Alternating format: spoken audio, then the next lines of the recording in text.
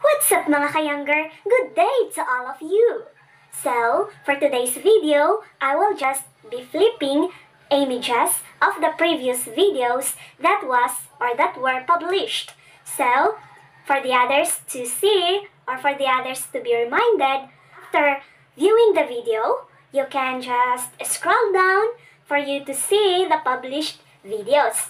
Because natabunan po siyang mga live videos na pinaggagawa ko. So, um, you can still watch it, but it you can scroll down, down, down, below, below, below.